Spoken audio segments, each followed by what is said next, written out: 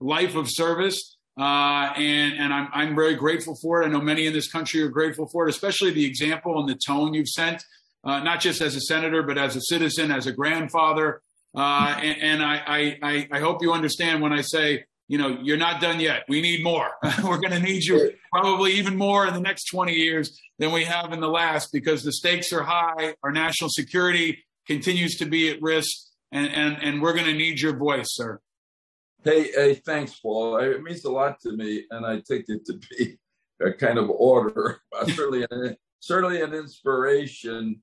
Um, and I consider myself, uh, you know, blessed to be healthy enough and have the opportunities I do now through No Labels and some other uh, um, movements that I'm part of to continue to fight for the for the improvement of our government. Yeah, uh, but I tell you what gives me a lot of hope is is the next generation